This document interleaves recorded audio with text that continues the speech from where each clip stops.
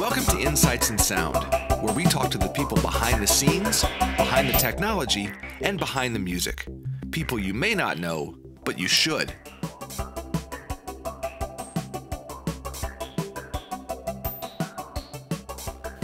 Thanks for tuning in. Here's part two of our conversation with recording legend Howie Schwartz.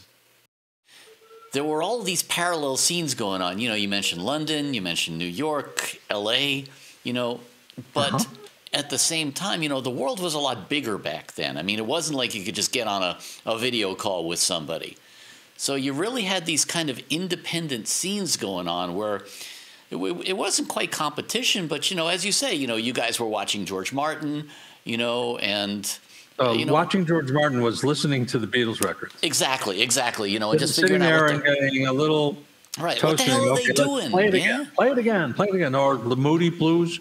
Oh my God. Oh how, yeah. How about that stuff? You know. Exactly. Or listening, uh, listening to yes, Leon Russell. I mean, but Leon Russell really played. I mean, they, you know, his band was him, Joe Cocker, um, Billy Preston. I mean, it was just oh, give me a break, guys. It's yeah, yeah. I mean, the talent level was just amazing. Oh, but also, was, I think it was kind of it was interesting how these individual scenes they kind of you know, and they all had their own character, of course, you know, right, and you know how they all kind of informed each other, you know. So, it, it, I mean, what's interesting to me is how you kind of, you know, you went from L.A. to New York, you know, and you fit into both scenes, but at the same time, there must have been a world of difference when I came to New York and I was working for a few studios before I opened my own studio in 1975, um, I tried to set up whatever room I was working in LA style because New York was boxes. It was old radio stations that they made into recording studios. Uh, New York was no studios built from scratch. It was, it was um, broadcast studios that became recording CBS studios. CBS was a ballet school. CBS uh-huh. on 52nd Street was a ballet school. CBS on on 30th Street was an Armenian church. Um, there, uh, the, the, ballet school was hysterical. That's you know, Bridge Over Troubled Water and all that stuff was was recorded there. Roy Halee was mm-hmm. one of the engineers, and Don Puluse, who's still around. Roy Halee's still around. Um, and then uh, CBS Records sold Columbia Records. Um, it was um, who was the head of Columbia Records at that time? Mitch Miller. Oh, that's um, right. Sure. Yeah, he was the head of Columbia Records. Sold it to Don Frey, who was working at NBC, and Phil Ramone, and they bought. Actually, it was a trade because CBS still wanted 52nd Street.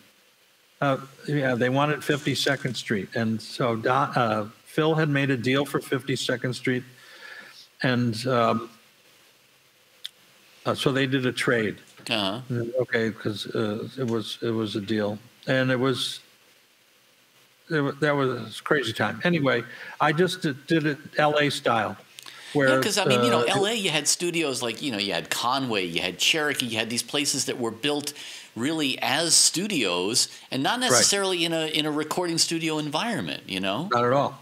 One of the things that was was great is you know uh, at Conway, it was a house. Yeah, exactly. And, you know, and they made it into, and that's really what everybody was trying to copy was the the human part of it, the, the client services. Right. I mean, there's studios in LA now that, you know, LA studios and Margarita Mix and those places where you go in and it's about the food. It's not even about the studio. It's about the food and the services and you want your car washed. And, so, and it was just, it was like that. Yeah, yeah. And that I think is, you know, that's what's interesting to me about the the difference in the the character of those different scenes. Where as you say, you know, LA was really it was kind of the birth of the not the home studio in terms of what we know it now, but really the the home environment, the the the creature comforts environment. Whereas New York, as you say, it was all business. You know, yeah, which the is, only one in New York that was similar was was okay was Gary Kellgren and Chris Stone when uh-huh. they started the record plant. The record plant, they sure. started to do that style.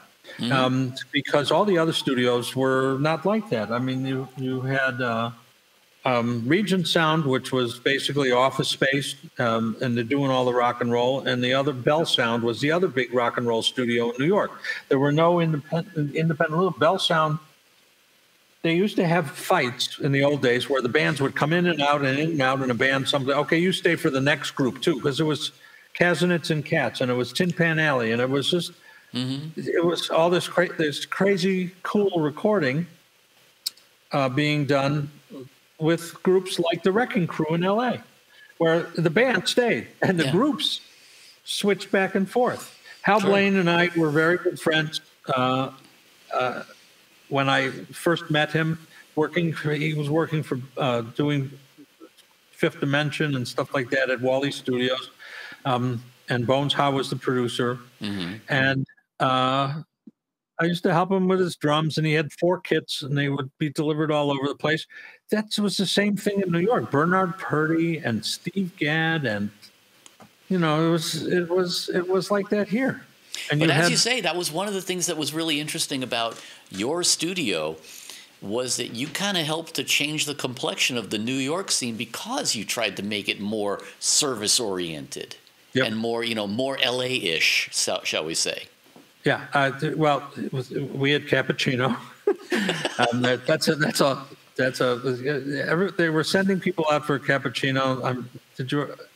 There's a long story about. It. I bought a cappuccino machine on Pico Boulevard, out by where in the in the antique district. There was a there was a kitchen supply place, and I bought a, a cappuccino machine for seven to twenty two thousand dollars okay, and had it delivered, you know, from Italy. And it, you push this button, you push this button, it ground this, ground that, and and you know, you just and then it steamed the milk, and it was it was just amazing. And and uh, everybody gave me Joe Tarsia from Sigma Sound used to give me such a hard time. He says, "How could you spend so much money on that?" And I said, "Okay, here's the deal." At that time, we were charging five hundred dollars an hour for studio time to do movies or television commercials or whatever we were doing. And it took about two minutes to walk from that studio to where the cappuccino machine was. Okay. And then I had to teach them how to use the cappuccino machine, which took about four minutes, five minutes. Okay. Then they did it themselves, and then they would sit there for half a second and talk to one of the movie stars that walked by. So we're nine or 10 minutes. Figure out how much an that, hour? Yeah. At $500 an hour. So it, it, it cost $50. So you know, I'm not sending a, a, a, an assistant down to Starbucks for a cappuccino. Right, that's a fifty dollar cup of coffee right there. And then mark it up thirty five percent. I'm doing better buying this twenty two thousand dollar machine. so uh, I told that story at an AES convention or something at one of the award shows, and maybe one of the early tech awards shows, and. Um, Joe reminded me of that. I, I got honored at, uh, at an AES show uh, a bunch of years ago, and he made me tell that. No, he told the story because I used to. Whenever we had a SPARS meeting in in New York, and and Joe was in New York, I would sneak into his studios and say, and look at fader one and two and three and four because I wanted to see how he was EQing the bass, the uh-huh. kick drum, snare drum, because that Philadelphia sound was just killer to me. Yeah, yeah. And I just, oh, I want to sound like the Commodores. I want to sound like Lionel Richie. I want to sound like Earth, Wind, and Fire. I want to sound like that. Of course, so, a lot of times that was the room.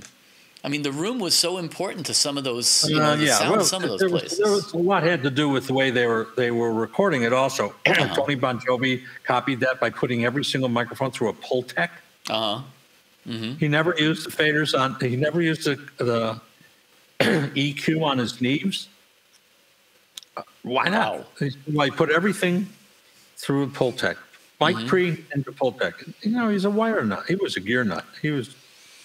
Yeah. Totally. Yeah. And so uh, that was uh, that was the fun days, and the best was is that I got to know all of these people, and I was harmless, except I was the competition. And but I always you know, there there was a story the other day. Um, whenever somebody died that was a jingle guy or a band guy or somebody a voiceover guy, I would get a phone call from one of the lead singers in town. He says, Howie, I need your big room. Uh, we have to rehearse for a memorial service. And I said, don't even ask me, just come and do it. It's, uh, I'll, I'll clear it out for you. You come and do it. And I did it, unfortunately, hundreds of times in 40 years. And that, uh, and I got reminded of that uh, at uh, one of the memorials we did earlier this year for a friend of ours that died of COVID. He was 78 and uh, he smoked too much, but and he got it, and in two weeks he was gone. Uh, uh, a fabulous composer arranger by the name of David Horowitz uh, here in New York. Oh, anyway, sure. Yeah, Sure. and and he in February he died. It was like that. what? Oh, wow. We didn't even know Huh. what COVID was at that time. So, and people copied what I did too. You know, there was, uh, I had four dozen bagels and three pounds of butter and cream cheese and tons of coffee every morning for everybody. It didn't matter. And I always had a refrigerator filled with bottles of water. But we started to buy them smaller and smaller because the talent would come up from Grand Central Station. And I would look at them, are you doing a session here today? No, I just came up for a bottle of water. Oh, great. Well, and, but you know, I, I mean, I, I have to say that's one of the things that I it think is very unique about your whole operation is that you really did kind of change the complexion of things. And and you know, granted, I mean, I'm not you know I'm not stroking just you here. A lot of it was you know the the scene itself, the the whole Yeah. art of everything changing.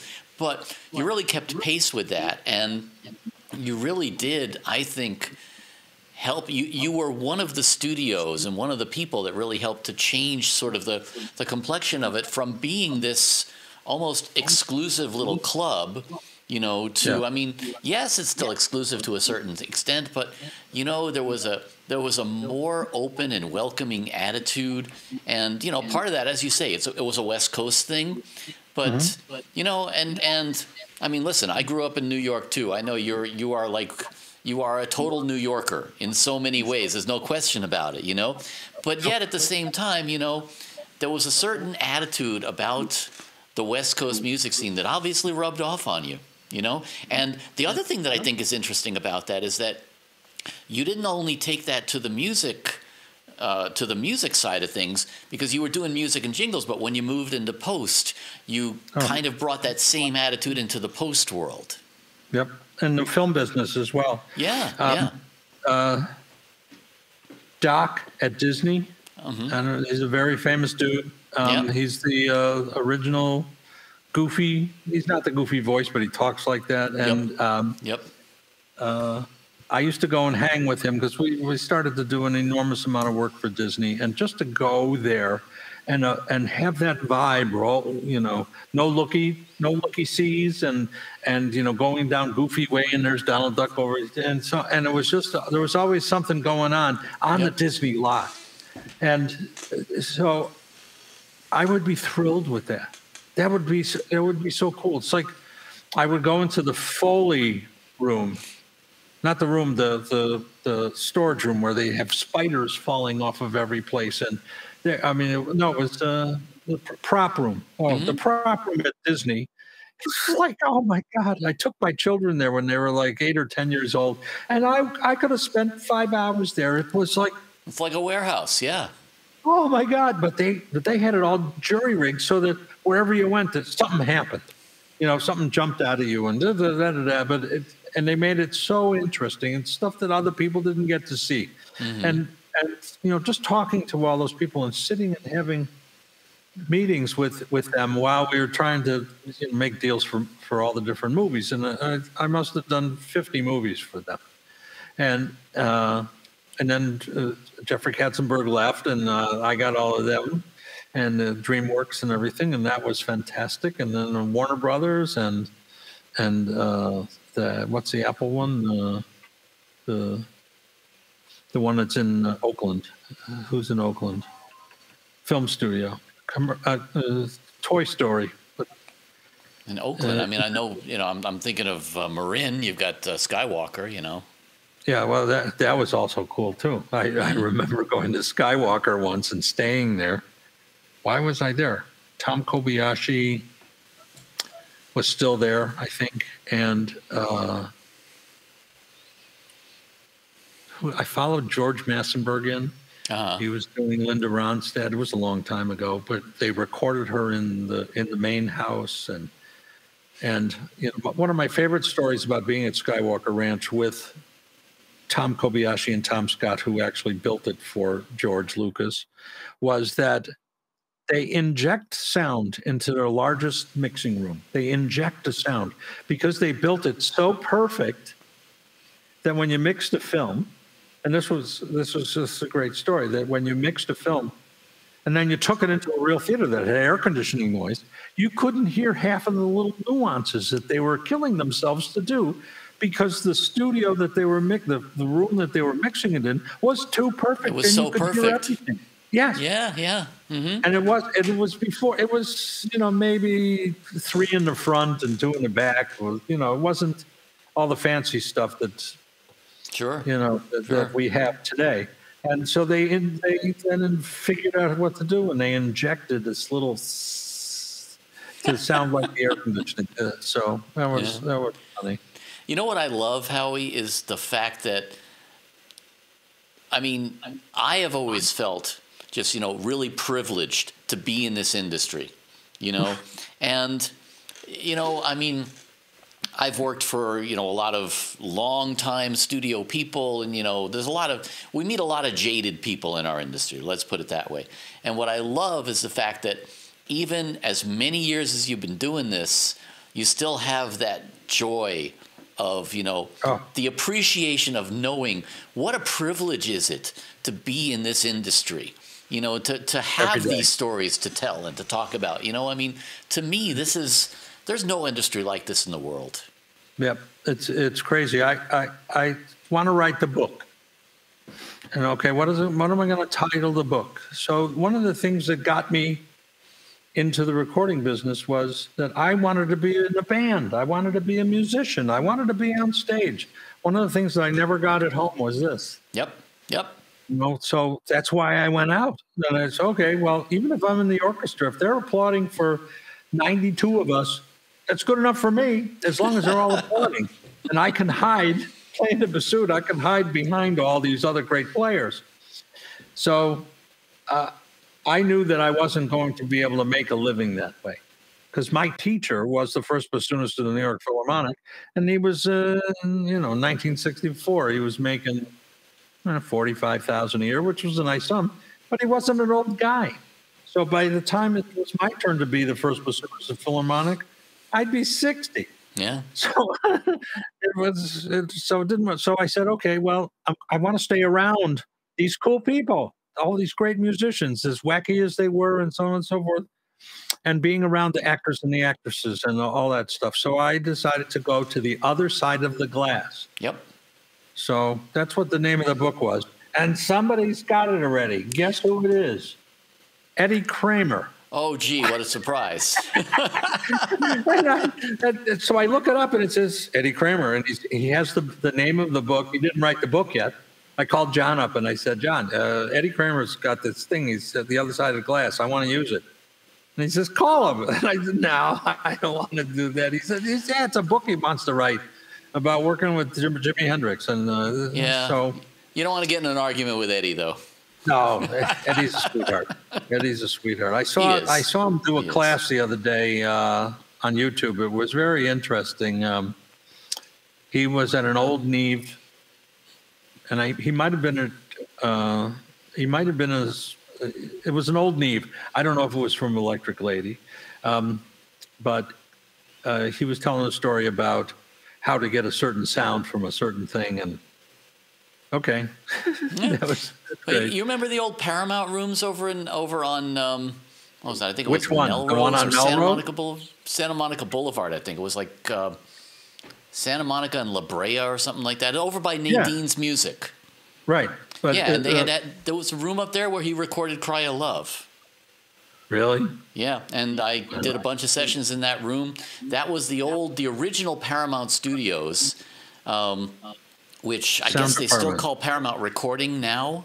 Yeah, yeah. It was it was across the street from the entrance. Exactly, and they Paramount. had uh, they had an old Harrison desk in there. Oh God! And when I first walked in there, they still had all the old mag machines in the back. You know, but uh, I had, I had 20 of those. Oh, yeah, yeah. But you know, I really do. I love the idea that we are privileged enough to be, you know, not only in this industry but to have seen these kind of changes. You know, and I mean, you've obviously, you know, you've seen a lot more than I have.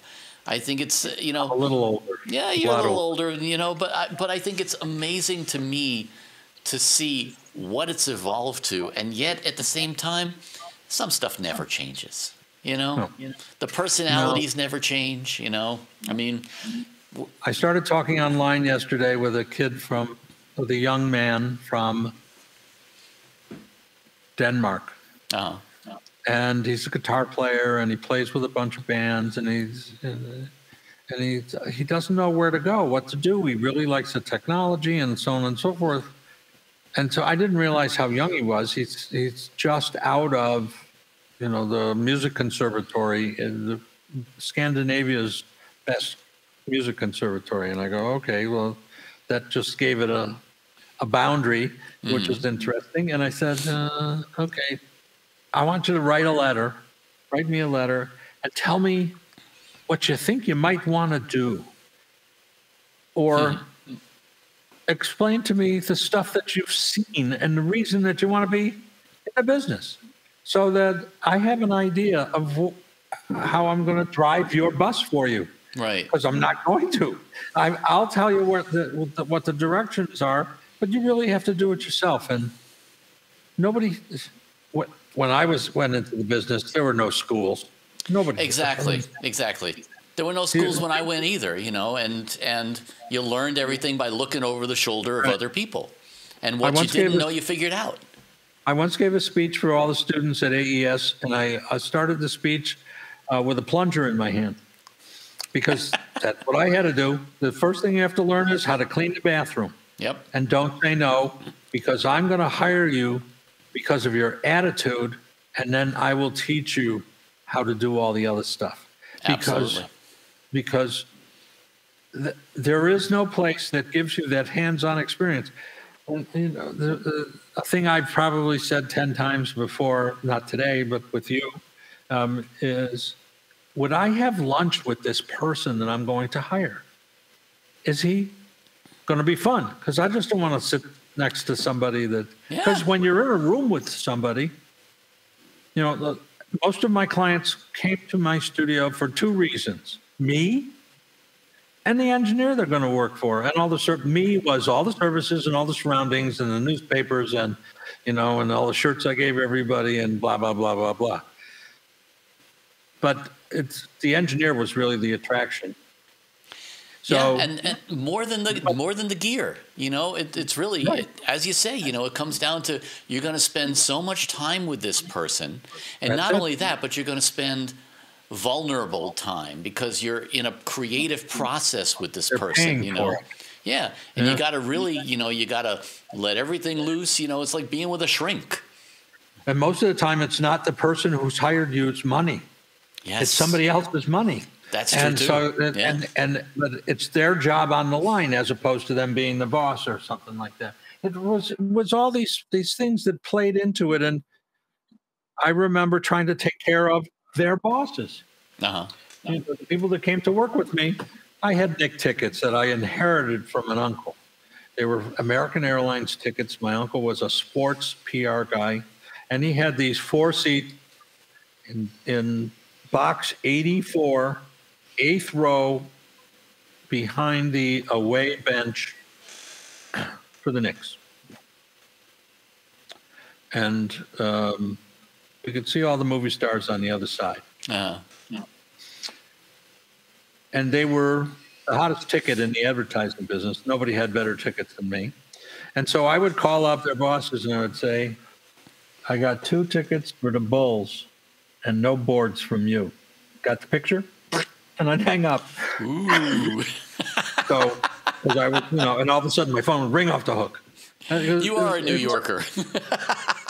It's a, a deal is a deal. That's a New York hustle all the way. Yeah, Absolutely. it, it was a lot of fun, and I can't tell you how many times it was just, you know, there there was a guy always outside of Madison Square Garden. There was a trumpet player who would play, And my friend who I went to a million games with, his name is Tom Mooney. He's totally nuts. He's a Vietnam veteran, a rock and roll guy. He was the 1910 Fruit Gum Company on the road. He wasn't even the original 1910 Fruit Oh, Gum Company. it.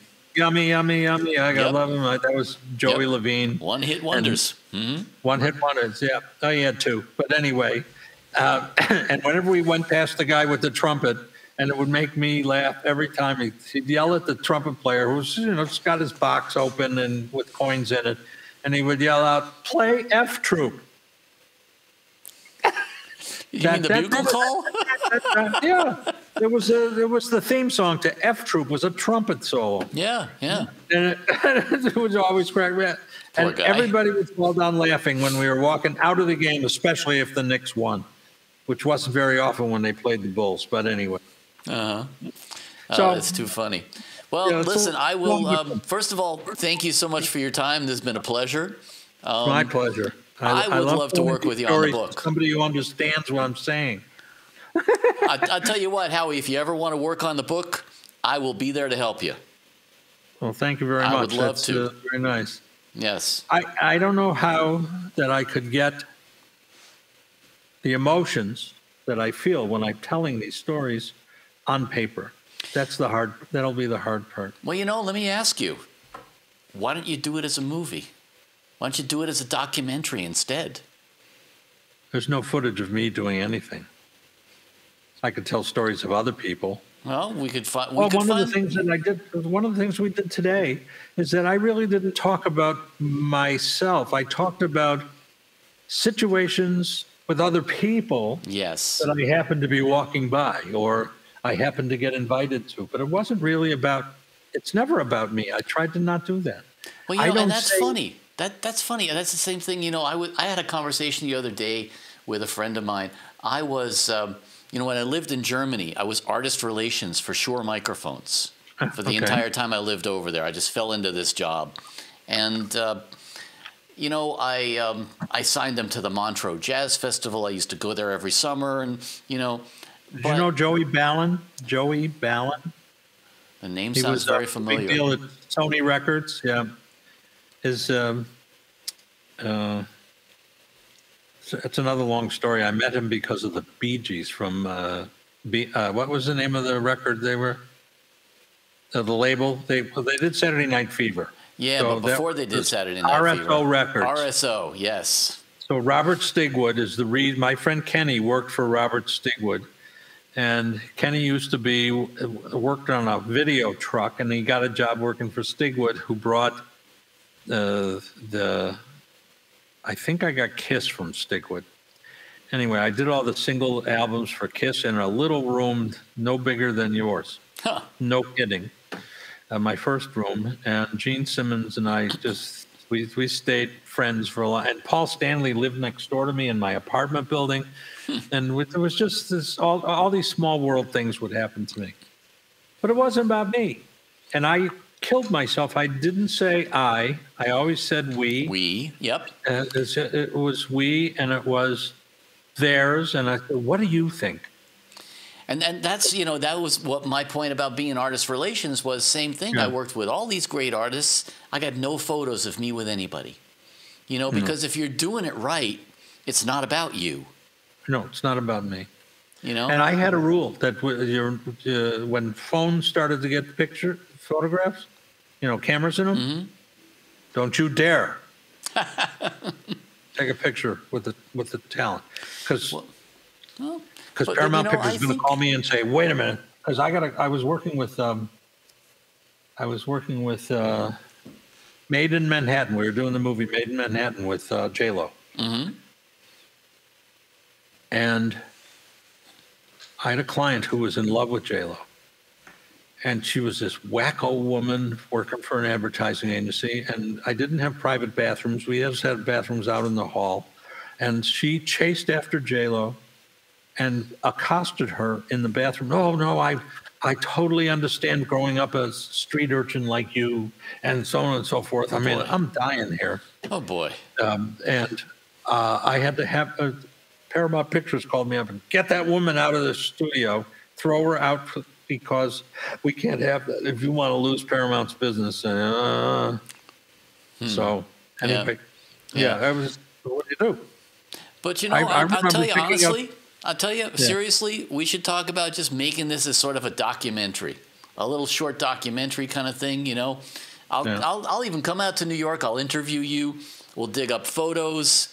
We'll do whatever it I takes have- because I I, really think that you telling the story is part of the story. The emotion you're talking about, you're not going to get Yeah. that writing it out. No, because I, you know, I was going to tell some other stories. I have a friend who's uh, in the construction business. He works for HRH, and I had this neighbor whose name is Vinny. Uh, Vinny. Oh yes, I got stories about. Let me see. Was he from New Jersey? Did he? Would he work No, in no, women's he lived in- garments? he, lived, he lived in Scarsdale, and he had Uh-huh. his initials on his uh, sleeve, you know, and and he always drove in his Mercedes bent over because he had a heater. He had a gun in his pocket all the Uh time. huh. Uh huh. and he drove for one of the guys that got rubbed out on um, Sp- you know Sparks Steakhouse on the in the East 40s. He was his driver when that guy got killed. Anyway, so Vinny was my next door neighbor. And one day I showed up at the train station in a suit and tie, and he said, "Hey Howie, where you going?" All dressed up. I never saw you all dressed up. And I said, "I have a I have a wedding rehearsal at the Four Seasons." He says, "Oh, uh, where's the wedding going to be?" I said, "At the St. Regis."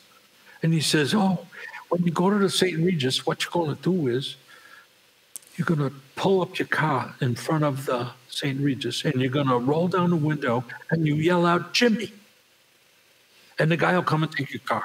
And don't worry about it. You tell him that you're Vinny's cousin." I said, "I don't think so, Vinny." He says, "No, you got to do it." So my cousin, whose daughter is getting married at the St. Regis, multi-zillionaires, they own lots of real estate in New York, blah, blah, blah. She says, we are closing the doors at seven. Don't be late. My daughter will kill me if anybody in my family is late. I said, okay.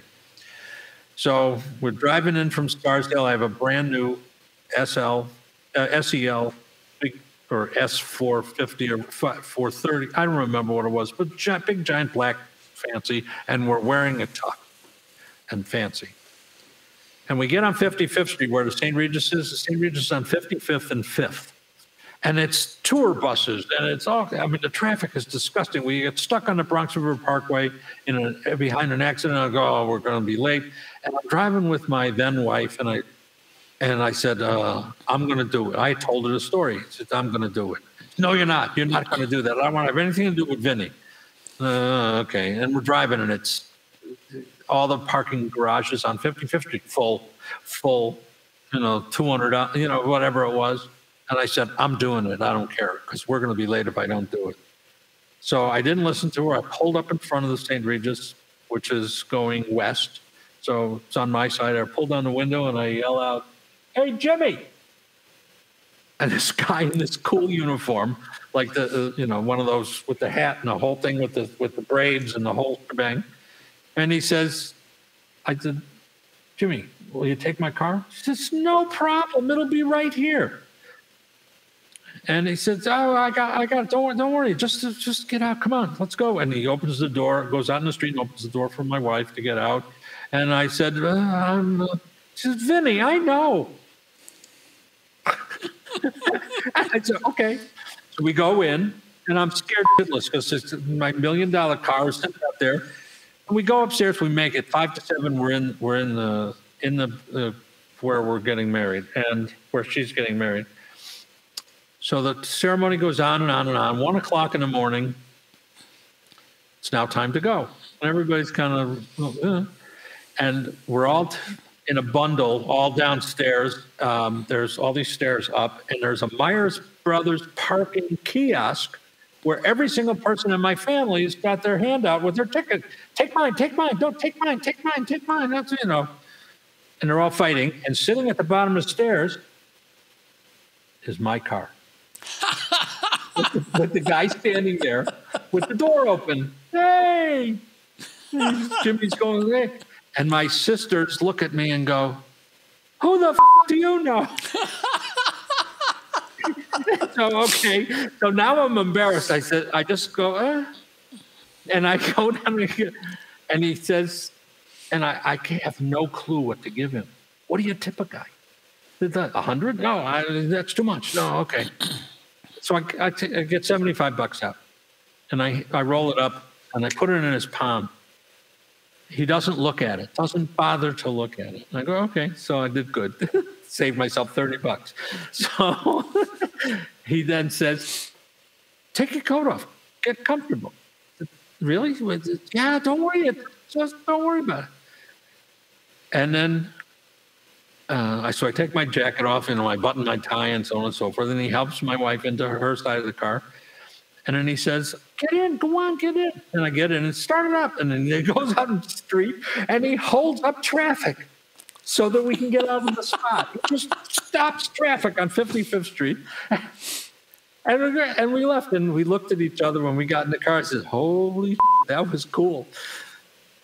So It's- yeah, I did it 20 times. I did it at the Ritz Carlton when we had the thing called, um, what was it called? There was, um, uh, what was his name? The, the artist that did, that, um, I forget what his name is. And he did all these flapping orange things all over Central Park. I did it at the Plaza Hotel. Oh, Christo. No? Huh? Christo, Yeah, yeah. Christo. So I, I, I call, called out, Oh, I, this is this is uh, another part of the story. I called out, "Hey, Jimmy!" And the guy comes out to my car and says, "I'm not Jimmy. I'll take take your car for you." And I said, "Okay, what's the, what's the deal?" He says, "Well, here's the deal. Um, I can put it in a garage. It's like 75, 80 bucks. Or," he leans in, "You can gratuitize me." I never heard that word before, and so I looked at him and I went. That's it.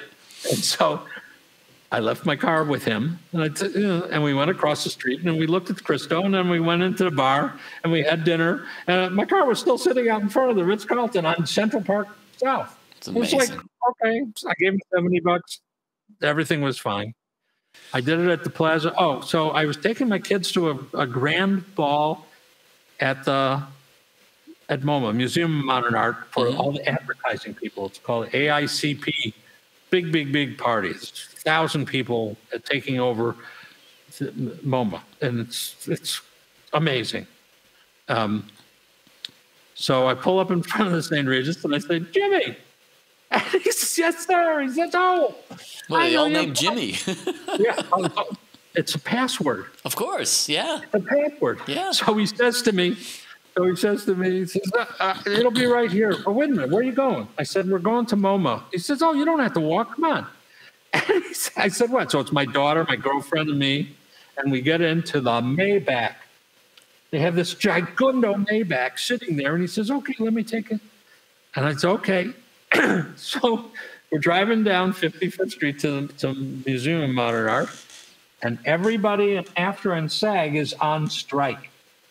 Non signatory the, the voiceover, all the voiceover guys are on strike, and they're all standing out in front of MoMA picketing all the advertising industries, which is AICP. And I get out of fucking Maybach. out of a Maybach, and I go, and they're all going, Howie, Howie, because they all know me. They don't know the advertising agency guys, because one of the funny things was because I was signatory, they would always say, Who's the last person you work for? The SAG and AFTRA guys when they go claim unemployment? So they go, Howie. You know I used to get 20 a day? People call, claiming unemployment? Because we used to have 50, 75 talent through there every day. 13 studios. We, we're cranking it. So, so that's part of, that's another part of my history that's, so, oh, I get all worked It's up it's, it's politics. You know the the politics and the and the all of the unspoken stuff. You know, I mean, Oh, that's what yeah. to me makes this industry so fascinating. You know, Yeah. So um, somebody told me a story the other day about um, with the mayor, and they had to go someplace. Oh, they had to go to Yankee Stadium, and there was traffic jams every place. And they had the you know the cones out. The cops are all over the place in the Bronx trying to get to Yankee Stadium. It was a new Yankee Stadium, and so he leans over and he says, uh, "It's you know some famous rich Jewish real estate guy that he's working for," and he said, "The password is Sergeant Kelly." Okay, so if you're stuck in traffic and the cops are there, you roll down your window and said, "Hey, Sergeant Kelly," and he says, "Okay," and he put, takes the cones out of the way, and you go on the other side of the street.